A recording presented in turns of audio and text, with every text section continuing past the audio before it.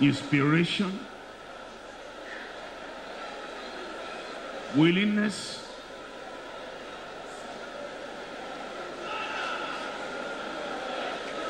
the success,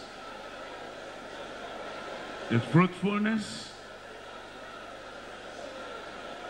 the effectiveness.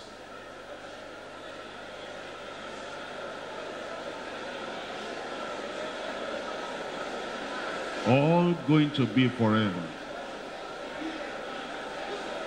The comfort of the Holy Ghost forever.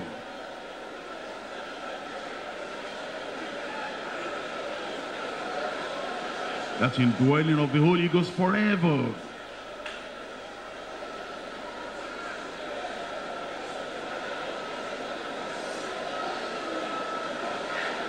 Welcome him. Welcome him.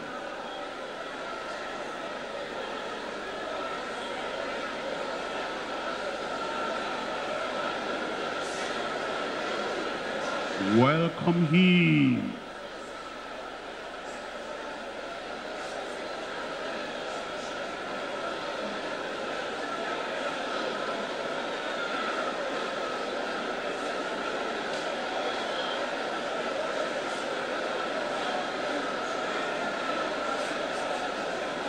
Let him abide forever.